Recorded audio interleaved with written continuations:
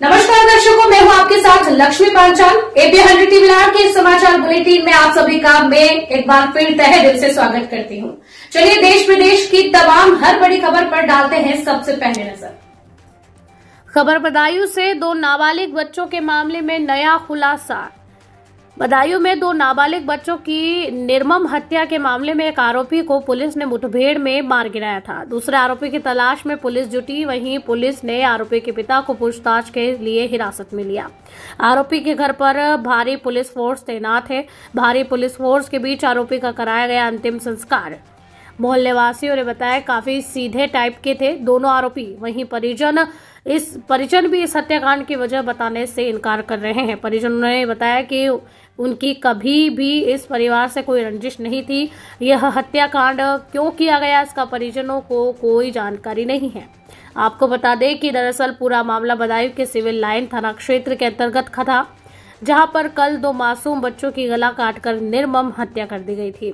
इसके बाद में तनावपूर्ण माहौल हो गया। पुलिस के नेतृत्व में कार्रवाई करते हुए एक आरोपी साजिद को पुलिस मुठभेड़ में मार गिराया। वहीं दूसरा आरोपी फरार है जिसके लिए पुलिस में चार टीम में गठित की गई और दूसरे आरोपी की तलाश की जा रही है। वहीं पुलिस ने आरोपी के पिता को हिरासत में लेकर पूछताछ की, की जा रही है। हमारी टीम आरोपी के घर मौजूद है। कड़ी सुरक्षा व्यवस्था के बीच हत्या आरोपी का अंतिम संस्कार कराया गया। संवाददाता नाजिर खान की खास रिपोर्ट।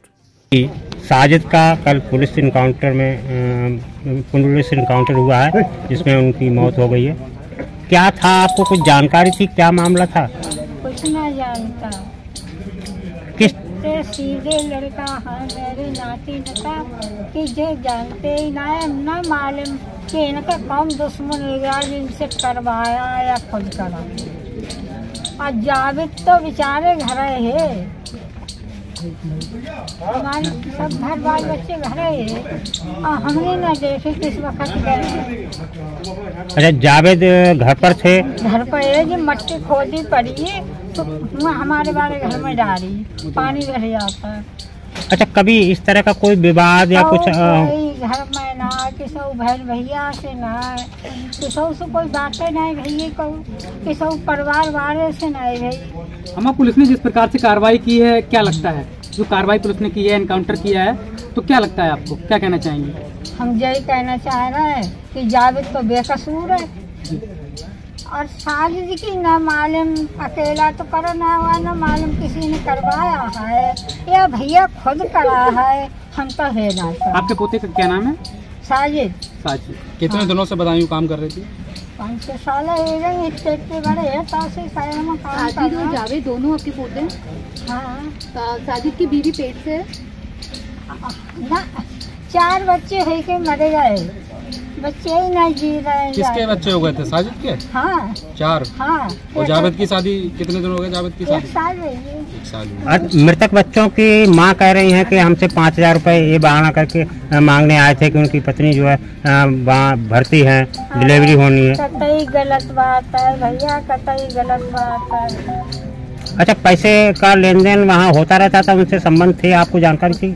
जैसे अब पड़ोसी है तो तुमसे जान पहचान है हो ही ना कोई। अच्छा वो कभी परिवार आपके यहाँ आया हो या आप लोग? कभी ना आया। है इनकी अपनी हुई हुई यारी दोस्ती। बाकी हमें कोई अच्छा कुछ यारी दोस्ती थी पहले से ऐसा हमें कोई पता ना हो मैं कह रही हूँ, जैसे हो तो अपनी हुआ हो। जब नहीं हमारे घर पर कोई ना इन दोनों बच्चों की जब हत्या की गई थी तो आपको क्या पता लगा? हमें साँझ को जो पता लगा कि लड़ाई रही। चलिए ठीक है।